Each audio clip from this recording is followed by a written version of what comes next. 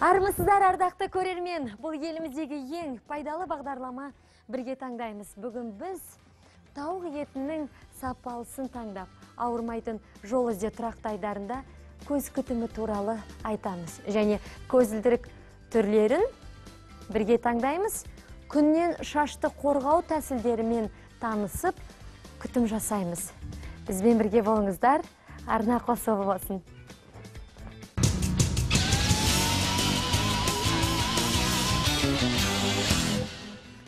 құрамында протеин дәрумен минералды заттар болғандықтан асқазанға жеңіл тиіп оңай қорытылатындықтан тауық еті көпшіліктің сұранысына ие. Алайда сапалы тауық етін таңдау ол оңай емес екен. Құрамына су қосып мұз қатырып салмағын алдап жаңағыдай арттырған етті қалай ажыратуға болады? Біз ортаға қазір алғашқы қонағымызды шақырғым келіп отыр. Барлығын өзі жақсылап түсіндіріп айтып береді. Осы тауық етін алған кезде не нәрсеге мән беру керек? Оның сапасын қалай анықтаймыз? Барлығын бізге бізге айтып беретін нұрмұрат досжанов келіп отыр екен. Нұрмұрат мырза келіңіз. Сәлеметсіз ба? Сәлеметсіз. қайырлы күн қош келдіңіз. Армысыз құрметті көрермендер бүгінгі таңдайтынымыз мынау тауық етінің сапасы. Және қандай түрлері? Кіріңіз қош келдіңіз. Және де бір дайындау түрін көрсетіп өтейін. Мынау ең басты мынау тауық еті бұл әмбебап ет болып келеді. Бұл ешқандай ел таңдамайды халық таңдамайды мынау. Барлық мынау мұхиттың арғы жағынан бастап бергі жағынан оңтүстіктен солтүстікке дейін барлық э, елдер жейді бұны. Нұрмат мырза мен сізге қазір мынау әдемі жейдеңіз білініп қалмас үшін қазір мүмкін бір тәжірибелер жасайтын шығармыз иә? Сондықтан сізге мен мынау алжапқышты кигізіп қояйын. Біз асықпай сосын әңгімемізге кірісейік. Бірден тауықтан бастап кеттік қой. Ә, ораза айт құтты болсын. Иә. Иә. Э, ораза құтты болсын. Енді мынау э, ең басты айтарымыз бұл тауық етінен қандай тамақтар жасайсыздар көбінесе үйде? Тауық етінен бұның енді сан түрі жоқ. Көбіне үйде мынау қазір мен өзім анам ет тамақты да арасына қосып мына еттің түр түрін қосып осы тауықтың да түрін ет, ет тамаққа қосатын тұғын. Ә, қандай тауықты аласыздар мысалға дүкендегі сатылып тұрған Ә, тауықты сатып аласыздар ма мысалға? енді мысалға не мынау- болмаса э, кәдімгі іздеп жүріп дүкеннен э, жаңағы қолдың ә, тауығын аласыздар ма? Қайсысын? Енді қолдың Алуға кеңес бересіз? қолдың қолдың тауығын алуға қазір ә, мүмкіншілік туа береді деп ойламаймын. Қымбат тұрады. иә мына сөрелерде мына мынандай ең бастысы мына таңдағанда мынау орташа түрін алу керек. Мынау шіли үлкен емес ол өйткені мынау сатушыларымыз сатушыларымыз мынау шіли үлкейтетіні ол мынау салмағын көбейту үшін. Сіз жаңа жақында ғана қызылордадан келдіңіз бе? оңтүстіктен келдіңіз бе? Иә мен өзім қызылордалықпын неге шли деп айтып тұр едім сіз бұрын ондай өйтіп сөйлемейтінсіз олай. Иә жақында кеше ғана келдіңіз ау деймін қызылордадан иә. Иә нұрмұрат мынау етті біз мысалға дүкенде тұрған кезде оның жаңағы дәрімен егілмегені иә жаңағыдай сапасының жақсы екенін қалай анықтай аламыз? Ана қолыңызға қолғап киіп алыңызшы мүмкіндік ең, ең бастысы мынау мынау таңдағанда мынау қызғы, қызғыш болу керек балық шіле ақ емес ә, және де қоңыр емес мынау. Ә, бұның ә, сақтау мерзімі алған соң ә, бес күн о- осы бес күндей мына тоңазытқыш дейміз ғой сода сақтасаңыз бес күннен артық сақтауға болмайды. Неге? және де ә, минус ол 18 қараңыз енді ә, құрметті көрермендер қазір сіздерге де сұрақ. Менің ойымша енді барлығымыз дүкенге барған кезде біз дүкен сөрелерінде тоңазытқышта тұрған жаңа тауықты аламыз. Сонда алуға соңыз кеңес бермейсіз бе? Ә, енді әлде сіздер мынау- жаңағыдай дүкендегі тоңазытқышта тұрған тауықты ә, аласыздар ғой? Сіздер алған кезде ә, қалай оның сапасын анықтайсыздар? Көрермендер елу бес отыз жеті жетпіс алты біздің байланыс нөміріміз. Хабарлассаңыздар болады. Нұрмат мырза жақсылап түсіндіреміз ойды жинақтаймыз. Иә мен осы ретте ақпарат айта өтейін. Тауық етінің құрамында көптеген минералды заттар мен б дәрумені бар. Ал диетологтардың көбі адамның қалыптасып қалған тамақтану үрдісін өзге- өзгерту керек дегенді айтады. Ал мамандарымыз мұндай кезде қой сиыр тіпті жылқы етінің орнына тауық пен балық етін жеп тұрған жөн деп санайды. Ең бастысы құрамындағы холестерин мен липотрапты заттар жөнінен құс етінің сиыр еті мен қоян етінен айырмашылығы жоқ екен. Міне көрдіңіздер ма? Және де енді ә, диетолог ханымдар мамандар осы тауық етін және балық етін жеуге көп кеңес береді. Ә, қой етінен қарағанда сиыр етінен жылқы етінен қараған кезде жаңағыдай салатқа қоссаң да ә, сорпа қылып пісірсең де ә, жаңағыдай өзін жаңағы жесең де пісіріп жеңіл тез қорытылады дейді. Бұл- бірақ тауықтың қазір дүкен сөрелерде бірнеше түрі бар.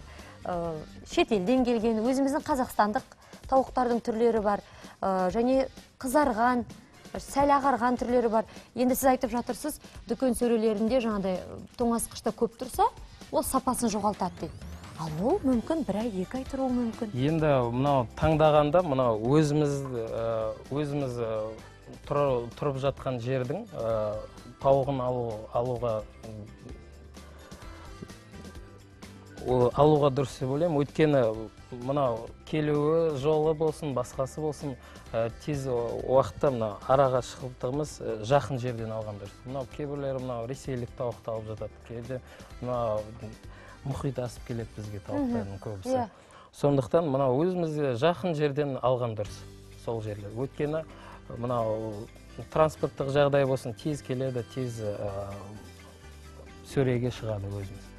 Ал енді мынау бұл ең кең тараған еттің түрі бұда 100 граммында 116 килокалорий бұл мынау диетологтардың хиті десе де болады жейтін тағамы ал енді өзіңіз мейрамханада тауықтан қандай тағамдарды көп пісіресіз? Иә бізде мынау мен өзім қызмет жасайтын бес жұлдызды қонақ үй болғандықтан мынау көбіне бізге мынау қазақстан өзіміздің отанымыздың болсын шетелдік болсын мынау көбіне бұл спортсмендер жейді бұл тағамды. Және де мынау сән үлгісінде жүрген адамдардың көбіне жейтін тағамы.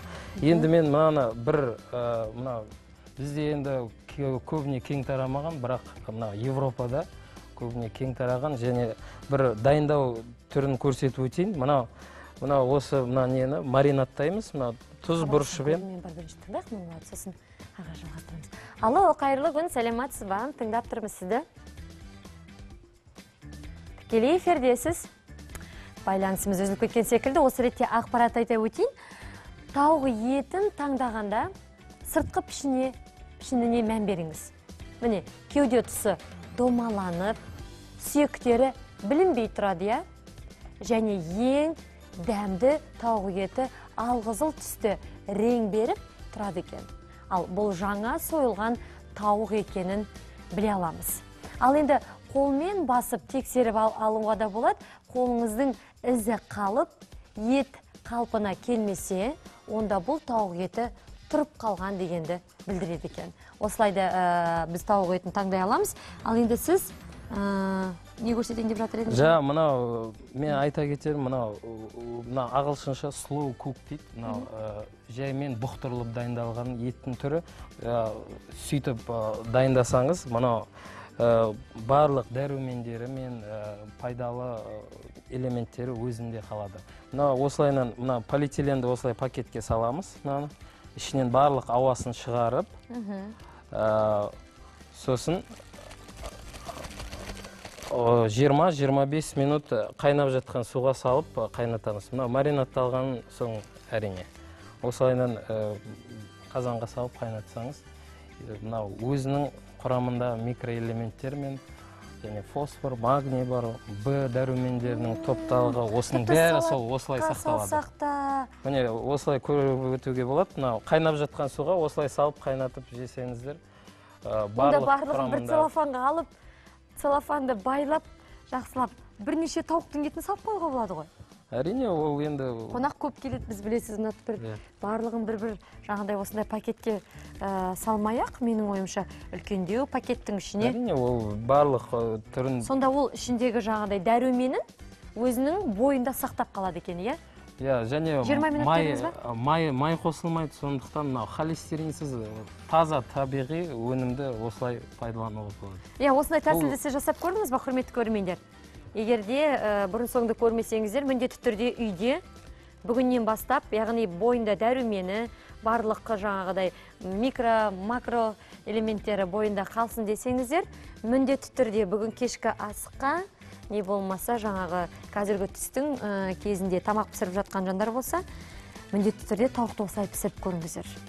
Біздің нағыз аспаз нұрмұраттан жаңағыдай кеңес. Ал енді мынау тауықтың аяғы жаңағыдай қанаттары бұл таңдаған енді кезде қалай? бұл, бұл енді мынау дайындау тәсілін айтып өтсек мынау ы, мына аяқтары көбіне мынау жұмыс істеп тұрған мүшесі болған соң бұл көбіне қызғылыштау келеді мынау кеудешесінен Ә, және де бұл дайындау тәсілі де ұзақтау. Ә, ал қанатына келсек қанаты өте жұқа. Және де бұны дайындау бір 5-10 минуттың ә, уақыт кетеді.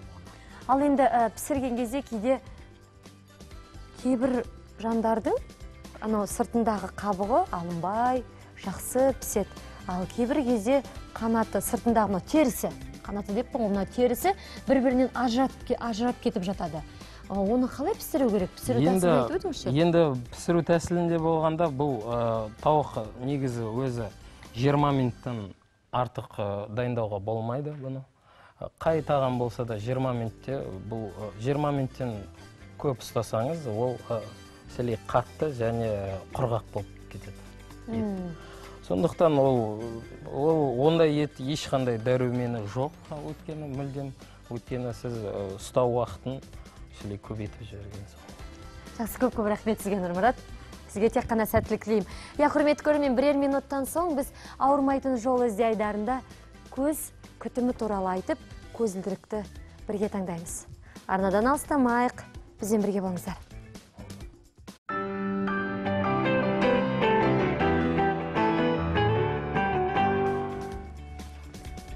Иә ұлттық арна көрермендері бұл еліміздегі ең пайдалы бағдарлама бірге таңдаймыз. Біз сіздермен күнделікті тікелей эфирдеміз. Бағдарламаны әрі қарай жалғастырайық. Көзіңіз шаршаса өзіңіз де шаршайсыз. Ал құлшыныс болғанмен көздің көру қабілеті төмендеп кедергі болуы мүмкін. Теледидар компьютерді күніне неше сағат көруге болады білесіз бе? Көз ауруларының алдын алу жолдары қандай? Бұл туралы бізге көз дәрігері қазір барлығын жақсылап айтып береді. Ауырмайтын жол ізде айдарында келген келесі біздің қонағымыз жанар салқынбекова келіп отыр екен. Қазір жанар ханымның өзінен сұрап білеміз. Жанар келіңіз сәлематсыз ба? Қайырлы күн. Қайырлы күн қош келдіңіз. Рахмет. Көңіл күйіңіз қалай жанар? Жақсы.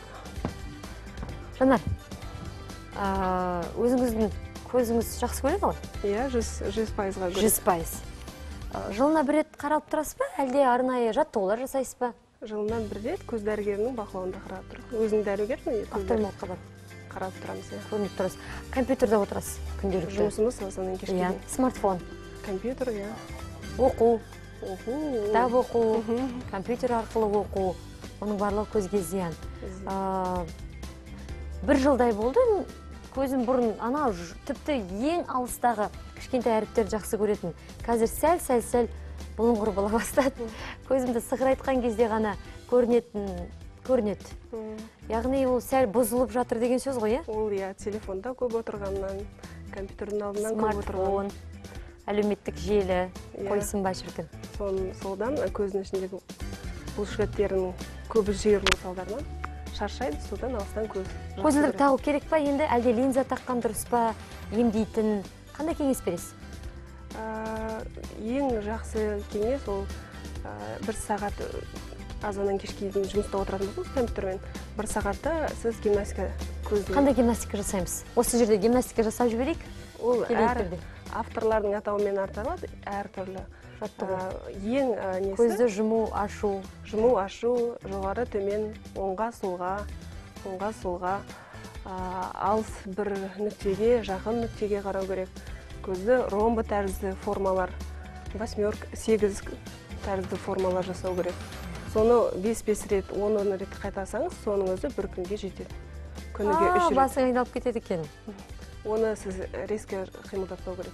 Біртіндеп жаймен и көзді соңына дейін апармау керек көздің неше шамасы жастан келгенге бастап жаттығу жасауға кеңес бересіз? Ай, алты жастан бастап. Алты жастан? Әркім алты жастан балаларға. Бала мектепке барғаннан бастап? Барғаннан бастап иә. Қазір даже үш жастан бастап та жасата берсе болады. Бала сөзге түсінсе уже көз Жаттығуға гимнастикасын кірісуге болады, иә? хабарласқан көрермен бар. Тыңдайық қазір. Алло қайырлы күн сәлематсыз ба? Саламатсыз ба? Тікелей эфирде сіз тыңдап тұрмыз сізді. Мен өзім кеңесіммен бөлісейін деп едім маңғыстаудан. Альбина.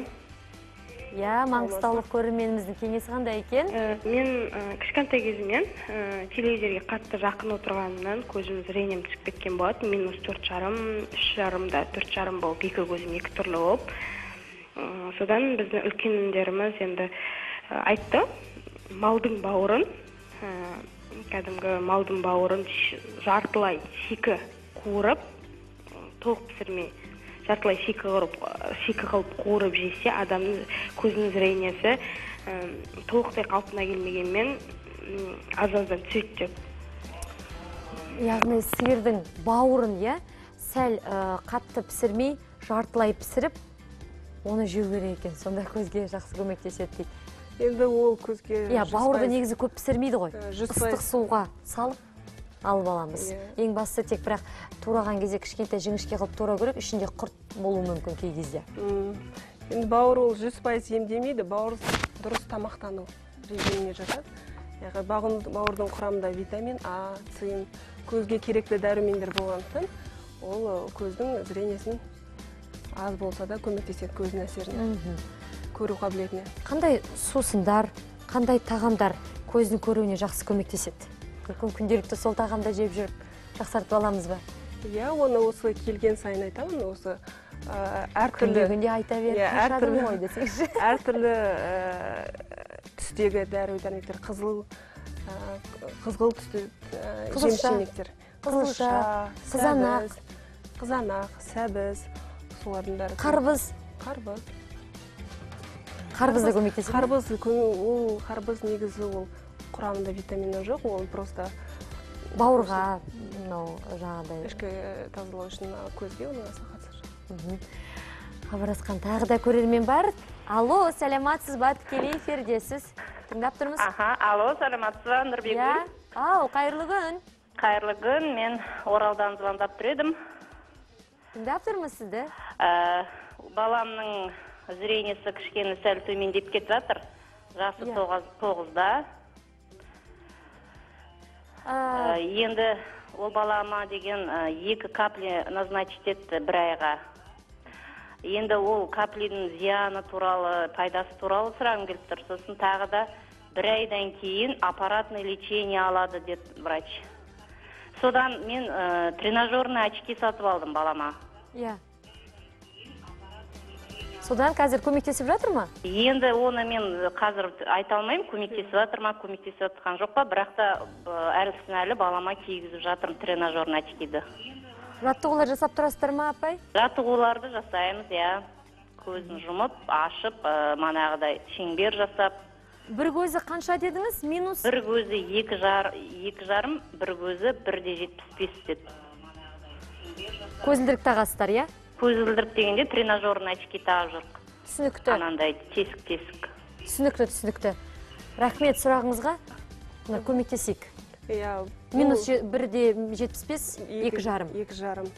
Ә, бұл осы тоғыз жастағы бала әлек бала емдеуге болады минусын азайтуға болады.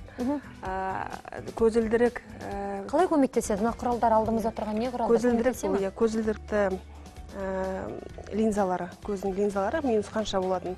Оны э, жаңағы берген э, гимнастикада э, капель э, тамшылар да көз тамшылары. Оның бәрі көздің ішіндегі бұлшықеттерге арналған. Солар бұлшықеттің спазм снимать етсе минус азаяды. Көздің теріс белгісі азайып көз екі жарым емес балаға енді бір жарым бір жетпіс бес. Мүмкін одан да аз болуы мүмкін. Очки э, жаттығулар көмектесе ме? Жаттығу көмектеседі. Қандай жаттығулар? Енді біреуі минус екі жарым біреуі минус бірде жетпіс бес.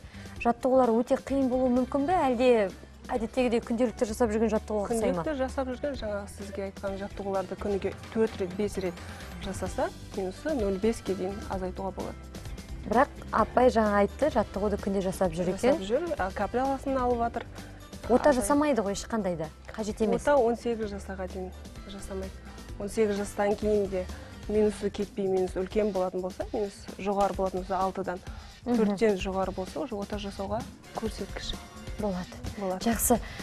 Хабарласқан тағы да бір көрермен бар тыңдап көрейік. Алло қайырлы күн. Бізге сұрақтарымыз көптеп келіп алло жатыр. саламатсыз ба саламатсыз ба? Иә қайырлы күн. Тыңдап тұрмыз сізді. А, мен маңғыстаудан хабарласып тұр едім мхм тыңдап тұрмын мына көз дәрігеріне сұрақ қойғым келіп тұр. Иә жанар есімі. Қойсаңыз болады. Мен дейтін көзімнің қызаруына байланысты көзім үш екі жарым жыл бұрын қызарып кетеді сосын. Бірақ ешқандай зрениеге ешқандай әсері жоқ просто қызарып кетті больницаға қаралдым ә, тамызатын дәрілер жазып берді бірақ бір көзім тек. Қай көзіңіз? Оң көзіңіз ба сол көзіңіз? Оң көзім. Оң көзіңіз. Дәрігерлер дәрі берді иә? Кетпей жатыр. Иә. Жоқ ол дейтін басында сол қызыл шыққан кезде тамыздым одан кейін барған жоқпын. Ешқандай ал енді қанша ай қанша ай болды қазір жалғасып жүргеніне тоқтамай қызарып тұрғанына? Жоқ тек сол шыққалы бері әлі тұр. Қып қызыл болып тұра ма сонда? Иә иә қан қысымы мүмкін. тексеріп көрдіңіз ба? Жоғары не болмаса төмен? Түсінбедім давлениені тексеріп көрдіңіз ба? Давление нормальный бәрі. Нормально. Жақсы. Иә рахмет сұрағыңызға арнайы маман қазір жауап берсін. Жанар. Ол көздің қызаруы әртүрлі себептермен мүмкін. Көзде қабыну проценті болса көзде ә, давлениесі жоғары болса көздің давлениесі. көзде аллергиялық ә, конъюнктивит деген ә, тамырлардың ауру болатын болса оны қазір ә, шағымдары бойынша ә, диагноз қоя салып кап, капля назначить етуге болмайды.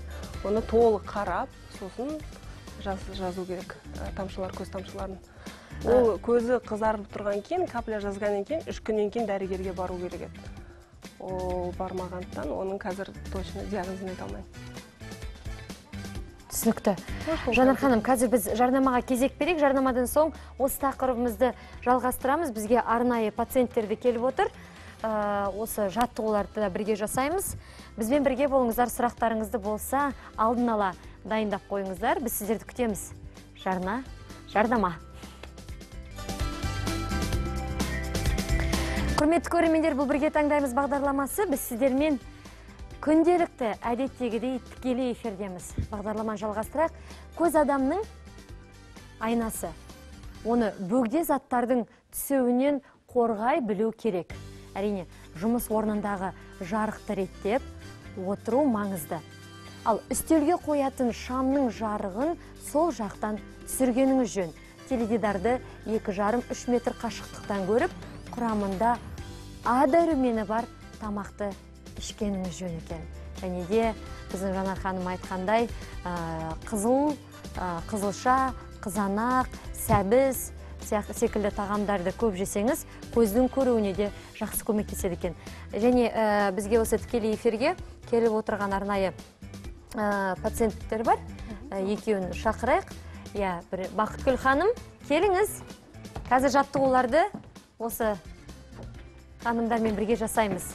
Келіңіз бақытгүл ханым. Қайырлы күн қош келдіңіз. Қып қызыл болып тұрсыз ғой әдемі болып. Қыздың көзі қызылда әдемі болып тұрсыз.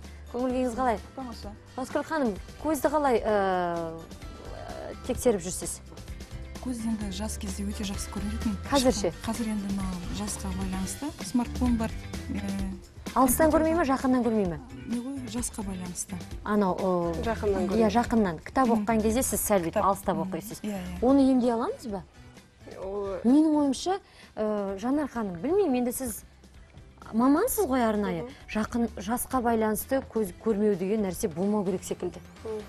Адамның дені сау болса алпысқа келсе де жетпіске келсе де сексенге келсе де ә, емделіп алса көзі тап тамаша көруге болатын секілді. Көздің тамаша көруі ол алыс ә, ара қашықтыққа байланысты. А жас қырықтан асқаннан кейін мында макеті тұр неге біз оны қырықтан елуден асқаннан кейін жасқа байланысты деп көзі Иә, сол көрмей қалу керек? асқаннан кейін мына көздің несі ә, көздің ішінде мына жерде қазір жоқ хрусталик болады көздің ішінде. Сол қырықтан асқаннан кейін қырыққа дейін ол эластичный болады. А жоғары өзінің формасын өзгерте береді. Қырықтан асқаннан кейін оның кішкене қатаяды тығыздығы қатаяды сол үшін мына көз мышцаларын көріп тұрсыз ба Иә. бұлшықеттердің солар жиырылғанда көздің ішінде хрусталик выпуклый болып жақыннан көретін қабілет. Енді ол жаңағы айтып отырған ә, дүниені оны қатайтуға болады ғой жаттығулар арқылы. Ол ол эластичность. эластичный болу керек негізі. Иә. а бұл ы, жас келген сайын ол қатаяды қатайған кезде көздің мышцалары оны жиыруға әлі келмейді. Не істей Ол- аламыз ондай ол болмас үшін. оны ол ол қырықтан асқанда ол физиологиялық жағдай. Ол бәрінде болады. Мен де сіз де очки киеміз. Кейбіреу елу жасында киеді кейбіреуі қырықтан аспай киеді. Кітап оқыған кезде көзілдірік киесіз бе уақыт па көзілдіріккенбіз аха. Компьютерлердің алдында отырған кезде кезде. де көзілдірік қорғайтын көзілдіріктер. Қорғайтын кейде қолданамын. Хабарласқан тағы да көрермен бар. Тыңдайық қазір сосын. Алло қайырлы күн. Сәлеметсіз ба? Алло саламатсыз ба? Иә қайырлы күн тыңдап тұрмыз сізді мен мына жаңа өзеннің қаласынан звондап тұр едім мына тоқтар ханымға сауал қояйын деп едім мен он жылдан бері осы көзім көзім ауырады да көзім зрениесі ауырмайды көзім тамыры ауырады тамыры ауырған кезде далаға былай күндіз қара әшке киемін түнде ақ рабочий әшке киемін да а былай желге болмайды көзім жел, жел көзіме тисе көзім жаман қатты ауырып удай ашып удай ашқан кезде құстыра береді. А докторларға барсам көзің жақсы зрениең жақсы дейді. А тамыры ауырады тамыры.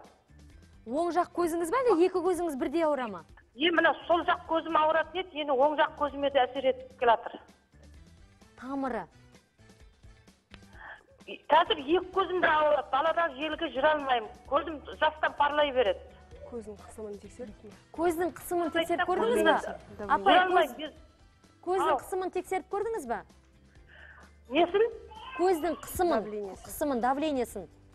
Давлениесі жоқ көзімде ана докторға көрініп жүрмін. Өткенде ана алматыға барып көзқарасқа барып көріндім ешқандай. Ау давление жоқ деп тұр иә? Давление жоқ дейді. Көзімнің тамыры ауырады. Көзім тамыры ауырғанда қатты ауырады да удай ашып ожог болып ауырады да а мен қатты ожог құсап күйіп былай нетіп ауырады да сосын мен құста беремін құстыра береді. Жақсы рахмет сұрағыңызға. Жанар ханым қандай ол диагноз? кісінің көзінің ауыру себебі енді ол кейбір жағдайлар болады.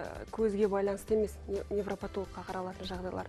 Мынау мойынның шейноясехондроз дейді болып жатса мида қан тамырлардың жүруі бұзылып жатса онда тек қана бас қана ауырмайды онымен қоса бас көзі с- ол бастың перифериясы шеткі бөлігі. Остеохондроз мына мойында Остеохондроз, мына жерде. Иә. Ол тұздар көздің тамырларын қысып тастайды. И көзге де басқа да қан дұрыс келмейді. Қан дұрыс келмегеннен ол жерде зат алмасу бұзылады. Дұрыс тамақтанбайды. жаңағыдай қысып тастап көздің де ауруы бастың ауруымен бірге қосылып сонда ол мына жердегі біз сонда жаңағыдай ненде жаңа омыртқа деп тұрмыз ғой ең жоғарғы жағындағы. Соны жаңа тұз жиналған дейді. Оны емдетуге болады ғой? Иә оны дәрігердің массаж арқылы. терапевттің көмегімен емдеп дәрілер алады витаминный комплекс. Сонда басқа да көзге де қан айналып. көзіңіз де ауырмайды басыңыз да ауырмайды. Иә бізде екінші ә, келіп отырған қонағымызды шақырайық.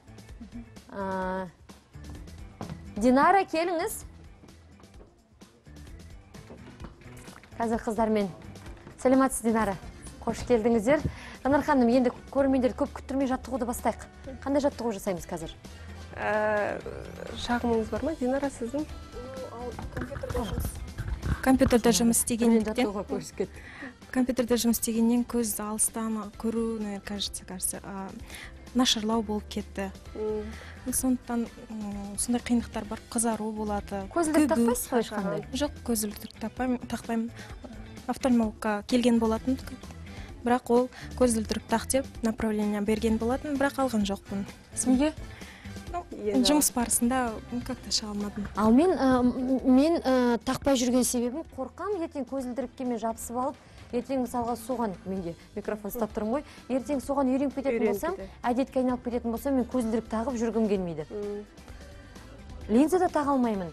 Ол үшін сол дәрігердің қалдығына келгенде сізге бір ай ем берді ма бір ай емдеп егер бір айдан кейін емнен кейін де көмектеспесе көздің минусы болған жағдайда онда очки ол очкиді тек қана алысқа ғана рульде отқанда басқа машиналарға кедергі болмау үшін жолда э, қолайсыз жағдай тудырмау үшін сол кезде ғана назначение береді. Постоянно емес әрқашан табуға болмайды. Жанар енді сен жаттығуға кірісейік сіздер. Мына жерге енді жаттығуға кірісетін болсақ иә.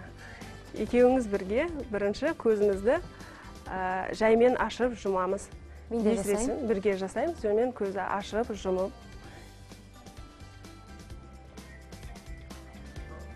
Жай енді иә. енді көзді қатты қысып жұмып ашамыз. Көзді қатты барынша қысасыздар. Ол көздің э,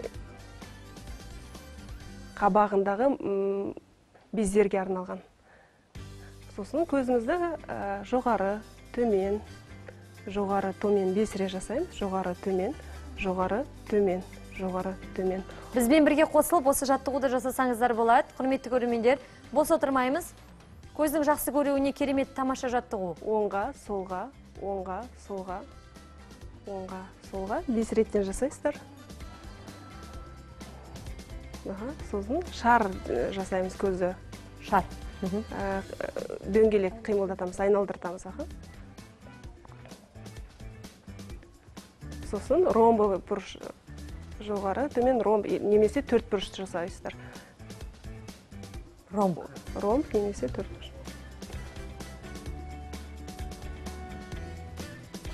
Ромб жасаған кезде бас айналып кетеді екен. Енді он бес рет енді восьмерка жаса сегіз несін жасаймыз? Енді көзіңізді алыстағы бір точкаға қараймыз.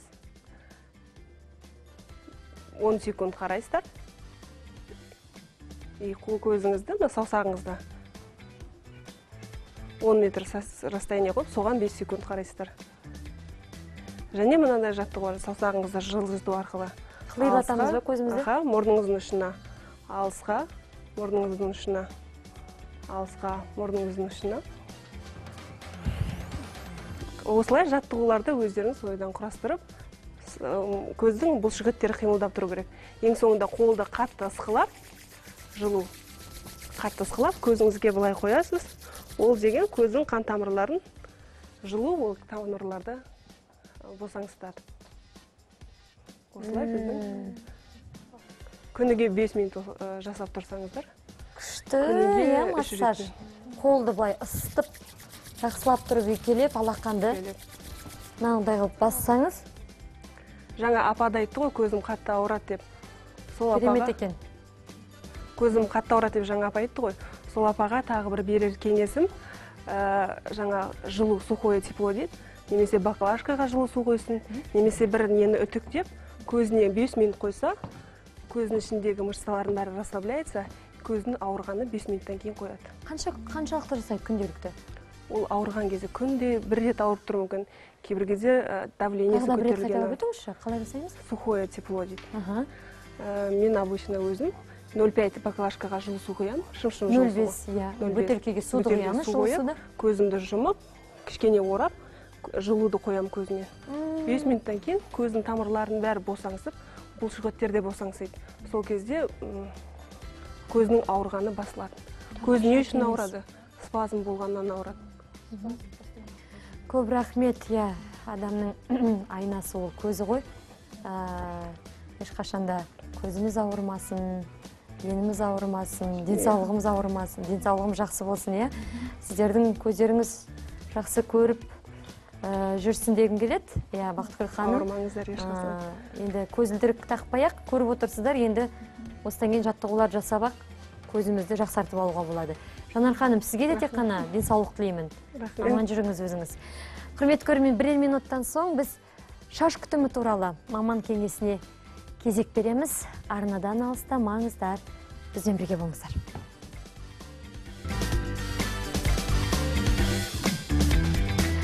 Қиялттық арна көрермендері бұл бірге таңдаймыз бағдарламасы біз сіздермен. Әдеттегідей дүйсенбіден жұмаға дейін сағат 1 мен 2-нің аралығында күнделікті тікелей эфирдеміз. Бағдарлама жалғастырақ жазда күн үсіп майлы шаштар одан сайын майланып ал құрғақ шаштар тіптен өңінен айырылады. Ұштанады көп түседі. Ал күнделікті шашыңыздың жібектей жұмсақ болып жылтырап тұруын қаласаңыз бірнеше амалдарын жадыңызға сақтай жүріңіз. Келесі біздің қонағымызбен таныс болыңыздар. Бірнеше шашқа байланысты маскалардың скраб ә, дүниелер осындай бір тамаша заттармен бөлсем деп келіп отырған арайлым рахымжанованы шақырайық. Арайлым келіңіз. Саламатсыздар сәлематсыз ба? Қайырлы күн. Армысыздар құрметті көрермендер. Сондай сұлусыз арайлым рахмет. сізді көргеніме қуаныштымын. Арайлым сіздің шашыңызды ұстап көрсем бола ма? Болады әрине. Шашыңыз жұп жұмсақ ұштанбаған. Қалай күтесіз? Қандай күшті шашыңыз? Рахмет. Күнде күнде күнде үтіктің несімен жаңағыдай плойка үтіктермен жаңағы шашты жақсылап тұрып күту керек бірақ күнделікті ұштанып кетіп жатады. Иә. Ал сіздің шашыңыз тамаша жаңағыдай балғын сондай бір әдемі болып тұр. Жібектей. Қалай күтесіз? Мен шашыма өзім шаштың мастері болғандықтан әрине өзіме кез келген әртүрлі маскаларды жасаймын және сіздерге соны кеңес бергім келеді. Үйде қандай маска жасайсыз? Үйде ә, қолдан жасалатын. Жаңағы народный маскалар дейді ғой. Қандай? Сондай түрі. Қазір сіздерге көрсетемін. Негізі бірінші бес кеңес айтып кетейін деп едім. Қыздарға шаштың күтіміне байланысты сіздер ә, көбінесе ә, біз қыздар шашымызды күнде жуамыз немесе күнара жуамыз. Негізі шашты күнара күнде жууға болмайды. Жұмасына екі рет жусаңыздар негізі сол жақсы болады. Және үш айда бір рет шаштың ұшын қиып отыруымыз керек. Қыздар бір жылда бір ақ рет қиюы мүмкін ол дұрыс емес негізі. Және көбінесе фенді қолданады. Фенді да көбінесе қолдана беруге болмайды. Және суық жақпен көбінесе кептіру керек шашты. Және басты шашты көбінесе тез ә, күнделікті жусақ тез майланып кетеді. Бірақ енді және ә, күнделікті жу- жу- жумаса тағы болмайды. майланып тұрсақ ә, жұмысқа барса тағы болмайды. Енді мен аптасына өзіңіз айтқандай аптасына екі рет жууға үйрендім. Аптасына екі рет не болмаса бір қатты бір жаңағыдай өйткені начостар жасалынады ғой. Иә, иә. лактар сол қышыған кезде ғана аптасына екі рет. А былайынша күнделікті жууға жумаймыз. Бірақ кейбір жандар айтады жаңағыдай майланып кетеді. Жұмысқа барсаң жаңағыдай тағы да ұят. Әдемі укладкамен барғымыз келеді. Не істейміз? Э, ол үшін э, біз жаңағы тез майланбау үшін маскалар жасап үйретіп алсақ ары қарай өзіңізге жеңіл болады. Және э, плойкамен берілғанда да негізі э, градусын қатты қоймау керек. Фенді де дәл солай. Салқын жақпен нету керек ыстық емес ыстықпен емес. және шашты ыстық сумен жууға мүлде болмайды. Жақсы бұл жылы сумен жуу керек негізі. Жақсы салқын сумен жуа берсе де енді болады маскалардың түрлері әрине көп бірақ көбінесе сіздер өздеріңіз де білесіздер жұмыртқаны біз ә, үнемі жұмыртқаны қолдансақ болады. Себебі жұмыртқа шаштың өсуіне де бір жағынан көмектеседі. Екінші жағынан ол жаңағы перхит дейді ғой перхит болмайды одан. Қайызғақ. болмайды иә. Ә, және шаштың өсуіне. Және шашты питать етеді дейді ғой? Емдейді, иә емдейді. жұмыртқаның сондай өзін Өзінің- ағы мен сарысын айырмашылығы бар. Негізі шашқа ә, сарысы сарысында көп дәрумендер бар. Иә. Пайдалы сарысын алып аламыз. Өзін ғана жағамыз ба? Тиім. жоқ. Ә, бірінші сарысын бөліп аламыз. Қазір мен өзім алсам. Бір ә, бір жұмыртқаны жетеді негізі.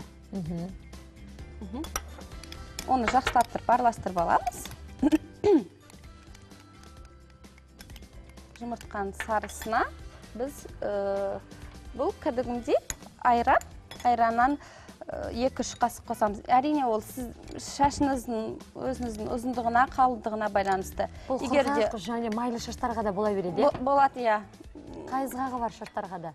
Бұл ә, мен мен қазір екі түрлі маска көрсем. Бір, түр- бір түрі бұл жаңағы күннен күйіп кетеді ғой шаштар. Иә, иә, сарғайып. сарғайып ә, ә, құрғақ мысалы жылтыры жоқ сондай шаштарға арналған маска болады. Жұмыртқаның сарысы және ә, айран. Ана химия жасап бүлдіріп алған шаштарға қайтеді.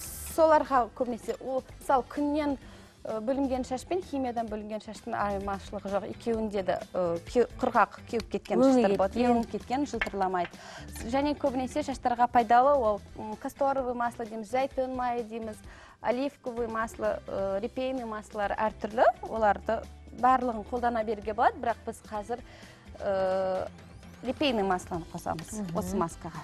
Бір қасығын қосаңыздар болады.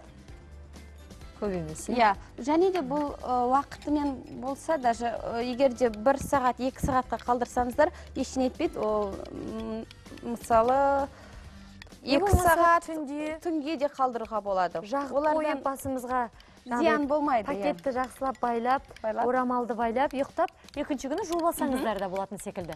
Иә. Шашқа сіңеді жақсылап. Және айран жұмыртқаның сарысы және репейный май. Майлардың әртүрлі екіншісі ол зәйтүн зәйт майы. иә ал екінші маска ол шаштың өсуіне байланысты. Оны біз шаштың түбіне жағамыз. А жаңағы масканы біз шаштың ұзындығымен байланысты жағамыз да көбінесе ұшына біраз масканы тұйқаға жоқ жоқ жоқ болмайды. Тек қана иә шаштың ұзындығына жағамыз. Түсінікті. Ал келесі маска ол горчичный порошок дейді ғой? Қыша. Қышаны қосамыз? бір қасығын ол бір рет осы басыма жағам деп үйден атылып шығып кете жаздадым өйткені тым ащы құйқаңыз теріңіз егер жұқа болатын болса көп Көп қолданбаған- иә қолданбаған жөн көп ұстамаңыздар өйткені бұл теріні ашытады Ашытады. сұмдық ашытқанда о әндетесіз ғой. Екі стақан қаймақ қосамыз. Және майлылығы жоғары болса ол тіпті жақсы болады негізі. Қышаға қаймақ. Және екіншісі үшіншісі касторовый масло жаңағы дәріханаларда сатады. Бір қасығын. Бұны шаштың түбінен бастап жағамыз. Терісіне. терісіне иә жағамыз. Сонда өсуіне ә, тездетеді өс- өседі шаш. Өйткені Жақсы мынау ә, тері кейде мынау жаңағы лактардан не болмаса біздің жағатын шаштарымызға пенка деп айтып жатады сұйықтықтардан. Оның барлығы тері бітеліп қалуы мүмкін да. Сондықтан мынау қыша ащы ғой қатты. Сол жаңағыдай теріңізге жаққан кезде қайтадан мынау ә, тамырларының ә, жаңағыдай тітіркендіріп шаштың өсуіне жақсы көмектеседі.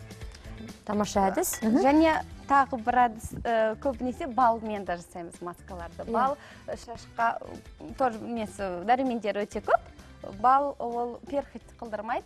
Оны ә, балға жұмыртқаның сарысын қосамыз. Және тағы да әртүрлі майлардың егер де ана май болмаса мына майды қоса беруге болады. Касторовый миндальный кокосовый деген касторовый оливковый маскала бал мен жұмыртқаның Иә, сарысы және де ә, зәйтүн май- майларды. иә осы ретте ақпарат айта өтейін. Тағамдық мәзіріңізде омега 3 майлы қышқылдың болмауы шаштың құрғауына әкеп соғады. Ал омега 3 майлы балықтарда. Мысалы арқан балық скумбрия және сардинада мол.